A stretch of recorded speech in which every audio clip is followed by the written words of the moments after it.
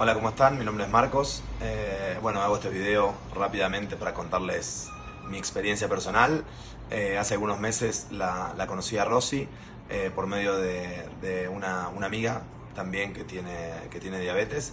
Y bueno, yo hace algunos años, unos 16, tengo diabetes tipo 1 y la verdad que desde que la conocí a ella empecé a tener otro control dentro de la, del cuidado, ¿no? De, de lo que respecta a la, a la, enfermedad.